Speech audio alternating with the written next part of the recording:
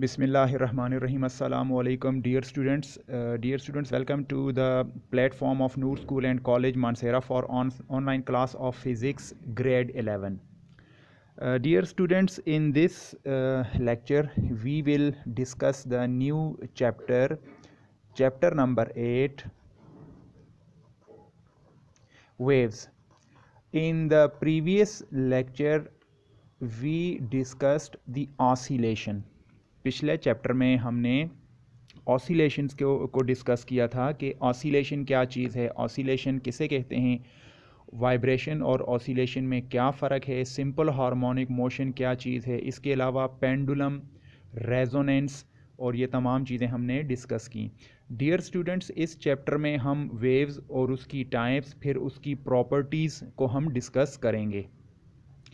Students, सबसे पहले हम वेव को डिफ़ाइन कर लेते हैं कि व्हाट इज़ द वेव जैसा कि हम जानते हैं कि जब भी किसी मीडियम में डिस्टरबेंस प्रोड्यूस होती है तो वेव्स प्रोड्यूस होती हैं। जैसे आप पानी को कंसिडर करें, पानी अगर पानी के अंदर आप पत्थर या किसी चीज़ को डिप करें तो उससे वेव्स जो हैं वो चारों डायरेक्शन में फैलना शुरू हो जाती हैं। इसी तरीके से अगर आप रस्सी को पकड़ें, ऊपर नीचे उसको वाइब्रेट करें तो रस्सी के अंदर भी वेव्स प्रोड्यूस हो जाती हैं।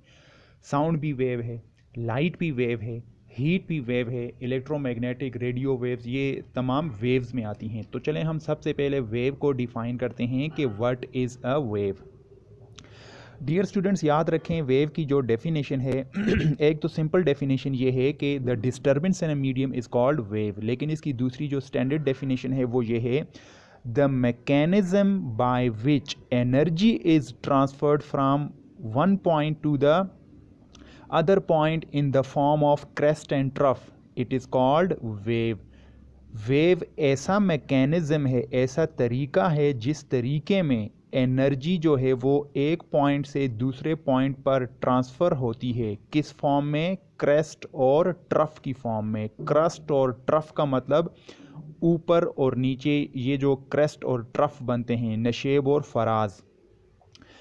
तो इसको कहते हैं वेव। तो मैं फिर इसको रिपीट कर देता हूँ कि द मैकेनिज़्म यानी ऐसा तरीका जिस तरीके में एनर्जी जो है वो एक पॉइंट से दूसरे पॉइंट को ट्रांसफ़र हो जाती है in the form of crest and trough तो क्रेस्ट और ट्रफ को अभी हम समझ जाते हैं कि क्रस्ट और ट्रफ की फॉर्म में एनर्जी किस तरह एक जगह से दूसरी जगह पर ट्रांसफ़र होती है। This is the graphical representation of wave ये वेव की रिप्रेजेंटेशन है। वेव के दो पार्ट्स होते हैं। एक अपर पोर्शन और एक ये लोअर पोर्शन अपर पोर्शन को डियर स्टूडेंट्स क्रेस्ट कहा जाता है और लोअर पोर्शन को ट्रफ कहा जाता है। तो ये क्रस्ट है, ये ट्रफ है, ये क्रस्ट और ये ट्रफ ठीक है? ये आपको जो सेंट्रल लाइन नज़र आ रही है ये सेंट्रल लाइन असल में मीन पोजीशन को रिप्रेजेंट कर रही होती है। ये जो क्रस्ट है, ये मीन पोजीशन के एक साइड पर एक्सट्रीम पॉइंट को रिप्रेजेंट कर रहा है और ट्रफ जो है, ये दूसरी साइड पर एक्सट्रीम पॉइंट को रिप्रेजेंट कर रहा है। तो एक वेव का मतलब होता है the combination of one crust and one trough एक क्रस्ट और एक ट्रफ मिलकर एक वेव बनाते हैं। अगर यहाँ पे देखें, दो क्रस्ट हैं और दो ट्रफ हैं तो यहाँ पे इस पूरी लाइन में दो वेव्स नज़र आ रही हैं।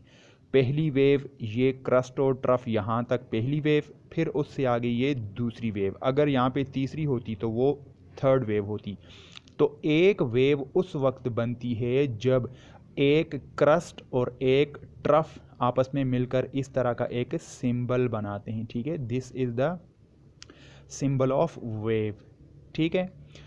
अच्छा डियर स्टूडेंट्स ये तो वेव के बारे में कुछ बुनियादी उसकी डेफिनेशन है। अभी हम वेव की बेसिक टाइप्स को डिस्कस कर लेते हैं कि वेव की कितनी टाइप्स होती हैं। बुनियादी तौर पर वेव की जो है, वो दो टाइप्स होती हैं, फिर ये टाइप्स आगे मज़ीद सब डिवाइड हो जाती हैं। There are two main categories of wave one is called mechanical waves और दूसरी को इलेक्ट्रोमैग्नेटिक वेव्स कहा जाता है। What is the definition of mechanical waves mechanical waves are the type of waves which require a medium for propagation propagation का मतलब एक जगह से दूसरी जगह पर जाना प्रोपोगेट करना, ठीक है? तो मैकेनिकल वेव वो वेव होती है जो प्रोपोगेट करने के लिए एक मीडियम की उसको ज़रूरत पड़ती है। यानी वो वेव जिसको एक जगह से दूसरी जगह जाने के लिए किसी मीडियम की ज़रूरत पड़ती है। अगर मीडियम ना हो तो मकैनिकल वेव नहीं जा सकती। क्योंकि मकैनिकल वेव को एक मीडियम चाहिए होता है एक जगह से दूसरी जगह जाने के लिए। इसकी कुछ एग्जांपल्स हैं। मैकेनिकल वेव्स की एग्जांपल हैं sound wave water wave string wave sound wave का हमें पता है कि साउंड वेव जो हैं वो एयर यानी हवा में मूव करती हैं। अगर हमारे आसपास से हवा ख़त्म हो जाए तो हमारी साउंड दूसरे बंदों को सुनाई नहीं देगी। तो साउंड वेव को ट्रेवल करने के लिए एयर की ज़रूरत है। तो साउंड वेव एक मैकेनिकल वेव है, जिसको एक मीडियम की ज़रूरत है, यानी हवा की। एक जगह से दूसरी जगह जाने के लिए। इसी तरीके से वाटर वेव पानी की सरफेस के ऊपर जो वेव्स बनती हैं, उसे वाटर वेव्स कहते हैं। अगर पानी ना हो तो वाटर वेव्स भी ख़त्म हो जाती हैं। तो वाटर वेव्स को मूव करने के लिए वाटर की ज़रूरत पड़ती है। तो वाटर भी वाटर वेव्स भी मैकेनिकल वेव्स हैं। स्ट्रिंग वेव्स रस्सी के ऊपर स्ट्रिंग रस्सी को कहते हैं। रस्सी के ऊपर जो वेव बनती है, वो भी मैकेनिकल वेव है कि वो अगर रस्सी को हटा दें तो हम वो वेव रस्सी के बगैर प्रोड्यूस नहीं कर सकते। तो ऐसी वेव जिसको प्रोपगेशन के लिए एक मीडियम की ज़रूरत पड़ती है, उसे मैकेनिकल वेव कहते हैं।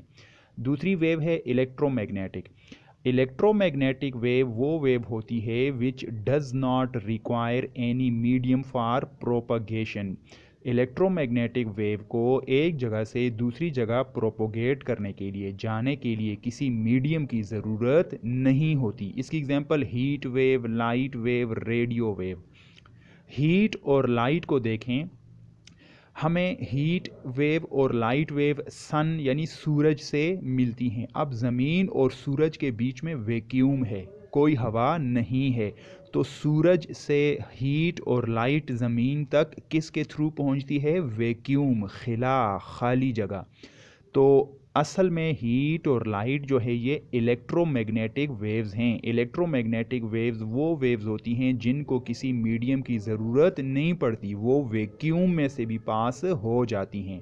देखें, सूरज से हमें हीट एनर्जी और लाइट एनर्जी मिलती है और ये दोनों वैक्यूम में से होकर आती हैं, ज़मीन तक पहुँचती हैं। इसी तरीके से रेडियो वेव हम रेडियो वेव्स अब इसकी बहुत सी टाइप्स होती हैं। इंटरनेट की waves cable waves mobile waves TV waves radio waves bluetooth waves ठीक है?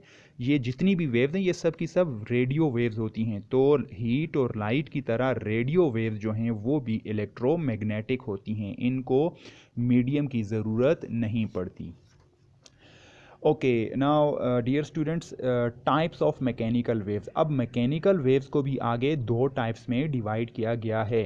ट्रांसवर्स वेव और लॉन्गिट्यूडनल वेव्स ट्रांसवर्स वेव की डेफिनेशन ये है कि the propagation is perpendicular to the vibration दो बातों को याद रखें, एक प्रोपगेशन और एक वाइब्रेशन ट्रांसवर्स वेव में वाइब्रेशन और प्रोपगेशन एक दूसरे के परपेंडिकुलर होते हैं। परपेंडिकुलर का ये मतलब है, अगर वाइब्रेशन ये पेन को देखें, अगर वाइब्रेशन ऊपर नीचे हो रही है तो वेव आगे की तरफ़ जाएगी। अब वाइब्रेशन ऊपर नीचे और वेव आगे तो दोनों परपेंडिकुलर हैं। 90 का एंगल बनेगा। Examples string waves water waves देखें, ये कंसिडर करें, एक बच्चा खड़ा है, उसके हाथ में ये एक रस्सी पकड़ी हुई है, इस रस्सी को किसी दीवार से बांधा हुआ है। अब ये बच्चा इस रस्सी को ऊपर नीचे वाइब्रेट कर रहा है। वाइब्रेशन की डायरेक्शन देखें, ऊपर नीचे। लेकिन रस्सी के अंदर वेव्स जो हैं, वो आगे की तरफ़ यूँ जा रही होती हैं। इसका मतलब वाइब्रेशन अप एंड डाउन है, लेकिन प्रोपगेशन राइट की तरफ़ है। तो अप डाउन और राइट ये परपेंडिकुलर हो गए तो इसको ट्रांसवर्स वेव कहते हैं। दूसरी टाइप होती है लॉन्गिट्यूडनल वेव लॉन्गिट्यूडनल वेव्स वो वेव्स होती हैं जिसमें प्रोपगेशन और वाइब्रेशन पैरेलल होती हैं, यानी एक ही डायरेक्शन में होते हैं। Longitudinal waves are the types of waves in which propagation is parallel to the vibration इसकी एग्जांपल है साउंड वेव और स्प्रिंग वेव्स स्ट्रिंग नहीं है, ये स्प्रिंग है। तो सिर्फ़ साउंड वेव के लिए देखें ये आपके पास एक ट्यूनिंग फोर्क दिखाया गया है क्योंकि ट्यूनिंग फोर्क को हम जब किसी चीज़ के ऊपर हिट करते हैं तो उससे साउंड प्रोड्यूस होती है। जब ट्यूनिंग फोर्क को किसी रबर पैड के साथ हिट करते हैं तो ट्यूनिंग फोर्क का ये वाला जो प्रॉन्ग है ये वाला जो हिस्सा है ये हल्का फुल्का आगे थोड़ा थोड़ा वाइब्रेट करना लग, लगता है ये थरथराने शुरू कर जाता है वाइब्रेट करना शुरू कर जाता है। तो देखें इस राइट वाले लेग में या इस राइट वाले पार्ट में वाइब्रेशन आगे पीछे हो रही है। जिस डायरेक्शन में वाइब्रेशन हो रही है साउंड भी उसी डायरेक्शन में आगे की तरफ़ जा रही है। तो प्रोपगेशन और वाइब्रेशन ये एक ही लाइन में है, एक ही डायरेक्शन में है, ठीक है? तो that is why sound is also the example of longitudinal wave तो याद रखें ट्रांसवर्स वेव में प्रोपगेशन और वाइब्रेशन एक दूसरे के परपेंडिकुलर होती हैं और लॉन्गिट्यूडनल वेव में वाइब्रेशन और प्रोपगेशन एक दूसरे के एक ही डायरेक्शन में होती हैं। अब देखें, यह इंपॉर्टेंट बात है कि heat light and radio waves are all transverse waves heat light और रेडियो वेव ये सब की सब होती ट्रांसवर्स हैं। ट्रांसवर्स का मतलब वाइब्रेशन और प्रोपगेशन में 90 का एंगल आता है, लेकिन they are not mechanical waves heat light और रेडियो वेव्स भी ट्रांसवर्स वेव होती हैं, लेकिन हीट लाइट और रेडियो मैकेनिकल वेव्स नहीं होती। क्योंकि इनको प्रोपोगेट करने के लिए मीडियम की ज़रूरत नहीं होती। अच्छा हीट लाइट और रेडियो वेव्स प्रोड्यूस वैसे किस किस तरह होती हैं, ये आप हायर क्लास में सेकेंड ईयर में पढ़ेंगे। लेकिन यहाँ पे देख लें, हम एटम के बारे में जानते हैं कि एटम का एक होता है न्यूक्लियस और बाहर ऑर्बिट्स के अंदर ये इलेक्ट्रॉन्स रिवॉल्व कर रहे होते हैं। ये जो प्रोपगेशन हीट लाइट और रेडियो की वेव्स की जो प्रोपगेशन है यानी ये हीट लाइट और रेडियो वेव्स प्रोड्यूस किस तरह होती हैं? जब electron upper and lower orbit में ट्रांजिट करता है जंप करता है। जब लोअर ऑर्बिट से अपर ऑर्बिट में जंप करके जाएगा, फिर वहाँ से नीचे आएगा तो ये एक वेव निकालेगा। वो हीट हो लाइट हो रेडियो हो, यानी इलेक्ट्रोमैग्नेटिक वेव्स हैं। वो इस तरीके से इलेक्ट्रॉन्स की वाइब्रेशन से प्रोड्यूस होती हैं। जब इलेक्ट्रॉन दो ऑर्बिट्स के बीच में ऊपर नीचे वाइब्रेट करता है। इसमें एक बात का ख्याल रखें डियर स्टूडेंट्स के ये जो इलेक्ट्रॉन है इलेक्ट्रॉन ऊपर और नीचे जो ऑर्बिट्स में वाइब्रेट करता है, अब उसमें वाइब्रेशन अप एंड डाउन है, लेकिन उससे जो हीट लाइट रेडियो वेव्स निकलती हैं, वो एक डायरेक्शन में निकलती हैं तो वाइब्रेशन और प्रोपगेशन परपेंडिकुलर हो गए हैं। तो इस वजह से हीट लाइट और रेडियो वेव भी होती ट्रांसवर्स हैं, लेकिन वो अलग बात है कि वो मैकेनिकल वेव्स नहीं होती, ठीक है? Okay dear students now we proceed further for the progressive wave अच्छा वेव्स की जो है वो मज़ीद आगे हम इसको, इसकी प्रॉपर्टी पढ़ते हैं कि एक होती है प्रोग्रेसिव वेव और एक होती है standing wave dear students progressive wave जैसा कि ये नाम से ज़ाहिर है प्रोग्रेसिव प्रोग्रेसिव का मतलब एक जगह से दूसरी जगह प्रोग्रेस करके जाना मूव करना. तो ज़ाहिर है वेव जो है वो एक जगह से दूसरी जगह पे ट्रेवल करती है वेव एनर्जी को ट्रांसफ़र करती है तो इसको प्रोग्रेसिव वेव कहते हैं। लेकिन प्रोग्रेसिव और स्टैंडिंग वेव में बुनियादी क्या फ़र्क है, वो हम इसमें समझेंगे। Progressive waves are primary waves progressive waves primary waves होती हैं। प्राइमरी वेव्स उस वेव को कहते हैं जो सिंगल वेव हो। सिंगल जो है उसमें क्रस्ट और ट्रफ क्रस्ट और ट्रफ प्रोड्यूस होते हैं।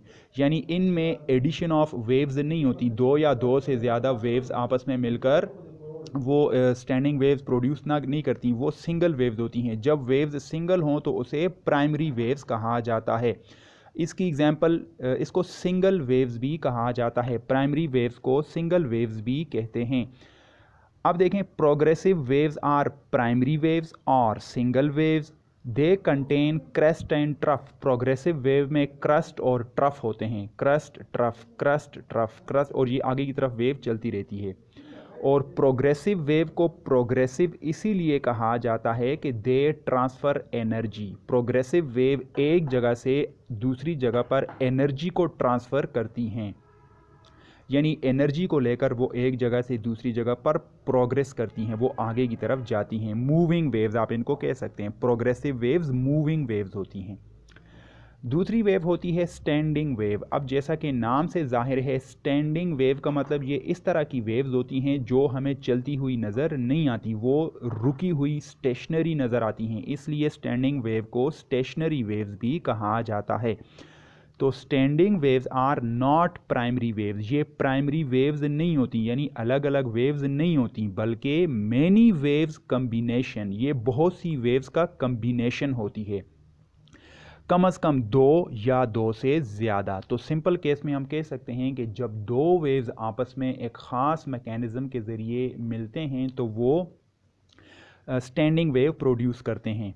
तो standing waves are not primary waves but they are the combination of two or more than two waves standing waves contain loops nodes and anti nodes आप ज़रा direct इस figure पे आ जाएँ। देखें, एक वेव ये वाली है, ये ऊपर वाली, ये एक वेव है और दूसरी वाली वेव इस तरह है। यानी एक वेव के क्रस्ट पर दूसरे का ट्रफ आता है और दूसरे वेव की क्रस्ट पर दूसरी, पहली वेव की क्रस्ट पर दूसरे का क्रस्ट आ जाता है। तो क्रस्ट ट्रफ ट्रफ क्रस्ट ये आमने सामने हो जाते हैं।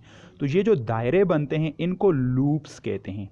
तो स्टैंडिंग वेव्स कंटेन लूप्स इसमें एक लूप दो लूप तीन लूप चार लूप ये बहुत सी लूप्स भी हो सकती हैं। Nodes what are nodes nodes उन जगहों को कहते हैं जहाँ पर दोनों वेव एक दूसरे को इंटरसेक्ट करते हैं। ये नोड है, ये वाला पॉइंट नोड है और ये वाला पॉइंट नोड है। अब एंटी नोड वो पॉइंट है जहाँ पर क्रस्ट और ट्रफ के बीच में डिस्टेंस ज़्यादा होता है। यानी कि थिकनेस ऑफ़ द लूप जो लूप की जो थिकनेस है, उसको उन पॉइंट्स को हम एंटी नोड कहते हैं। तो ये तीन पॉइंट्स नोड हैं और जो जहाँ पे एम्पलीट्यूड मैक्सिमम होता है सेंट्रल लाइन से, उसको एंटी नोड कहते हैं। This is anti node this is anti node this is anti node and this is anti node तो ये नोड्स हैं तीन और यहाँ पे ये चार एंटी नोड्स हैं। ये एक लूप है, ये दूसरा लूप है। सिंगल लूप भी बन सकता है, दो भी बन सकते हैं, तीन भी बन सकते हैं, चार भी बन सकते हैं।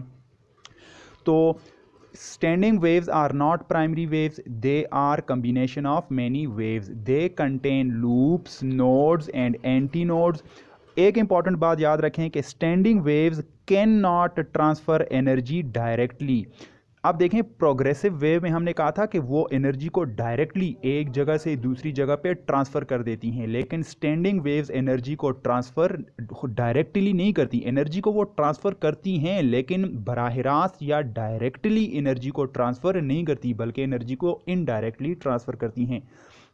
ये हम आगे पढ़ेंगे ये किस तरीके से। तो स्टैंडिंग वेव की एक और चौथी जो है वो देख लें इसकी प्रॉपर्टी कि they are only mechanical waves ये स्टैंडिंग वेव सिर्फ़ मैकेनिकल वेव्स में प्रोड्यूस होती हैं इलेक्ट्रोमैग्नेटिक वेव्स में स्टैंडिंग वेव प्रोड्यूस नहीं होती. तो standing waves are produced only in mechanical wave जैसे साउंड मैकेनिकल वेव है, रस्सी के अंदर ये प्रोड्यूस हो सकती हैं, पानी के अंदर प्रोड्यूस हो सकती हैं. तो स्टैंडिंग वेव्स और ये प्रोग्रेसिव वेव की बेसिक डेफिनेशन और कुछ प्रॉपर्टीज़ हैं। अब देखें standing waves are formed when a primary wave reflects on itself and produces loops standing wave उस वक्त बनती हैं जब एक प्राइमरी वेव सिंगल वेव अपने ऊपर क्या हो जाए? रिफ्लेक्ट हो जाए। अपने ऊपर रिफ्लेक्ट हो जाए तो उससे लूप्स बनते हैं। ठीक है? तो हम इसलिए कह सकते हैं कि standing wave is the combination of two or more than two progressive waves लेकिन इसके लिए शर्त यह है कि दो वेव्स अपोजिट डायरेक्शन में मिलेंगे। अगर एक लेफ़्ट से राइट right की तरफ़ आ रही है, एक राइट right से लेफ़्ट की तरफ़ तो ये दोनों एक दूसरे के साथ जब इंटरफेयर करेंगी तो वो लूप्स बनाएँगी इस तरीके से। Okay student there are some basic characteristics of waves और ये हम क्लास नाइन में भी आप इसी को, इसको पढ़ चुके हैं। ये चलें, इसकी एक रिवीजन हो जाएगी। There are some characteristics of waves उनमें पहला है wave length wave length is the distance between two consecutive crest और two consecutive trough wave length को लेमडा से रिप्रेजेंट किया जाता है। The length in which one crest and one trough is formed is called wave length तो ये देखें, आपके पास एक वेव है। ये टॉप वाले पॉइंट इसके क्रस्ट हैं और ये बॉटम वाले पॉइंट इसके ट्रफ हैं। ये इसकी मीन पोजीशन वाली सेंट्रल लाइन है। दो कंजेकेटिव क्रस्ट के बीच में डिस्टेंस लेमडा है या दो कंजेकेटिव ट्रफ के बीच में डिस्टेंस लेमडा है या वो डिस्टेंस जिसमें एक क्रस्ट और एक ट्रफ आता है। इसको the combination of one crust and one trough उसको एक वेव कहते हैं और जितनी लेंथ में एक क्रस्ट और एक ट्रफ बनता है उसको लेमडा कहा जाता है। और ये इसका एम्पलीट्यूड है। Unit of lambda is metre. उसके बाद है frequency. Number of waves passing through a point in one second. तो frequency F is equal to number of waves divided by time. Unit of frequency is second inverse. क्योंकि number of waves का तो कोई unit नहीं है, अलबत्त time का unit है सेकेंड। तो डी नोमिनेटर में सेकेंड है या इसको सेकेंड इनवर्स लिखें। और इसी सेकेंड इनवर्स को हर्ट्स कहते हैं एच जेड फिर है wave speed the product of lambda and frequency is equal to wave speed V is equal to F lambda time period the time required to complete one cycle और one vibration is called time period ये पिछले chapter में हम इसको पढ़ भी चुके हैं. It is denoted by T t and f are reciprocal to each other. Time period और frequency एक दूसरे के reciprocal होते हैं। यानी t is equal to one by f या f is equal to one by t. Product of T and F is equal to one अब देखें इसको अगर आप क्रॉस में मल्टीप्लाई करें टी और एफ़ को तो T F is equal to one या F T is equal to one amplitude maximum displacement from mean point is amplitude mean point से क्रस्ट या ट्रफ का जो मैक्सिमम डिस्टेंस होता है मैक्सिमम डिस्प्लेसमेंट उसे एम्पलीट्यूड कहा जाता है। तो एम्पलीट्यूड को हाइट ऑफ़ द वेव भी कह सकते हैं। Dear students these were the characteristics of waves तो प्लीज़ इसको अपने जो है वो प्रेजेंटेशन पेपर के ऊपर साफ़ सुथरा खूबसूरत करके लिखें और ये आपके टेस्ट uh, का हिस्सा होगा। Thank you very much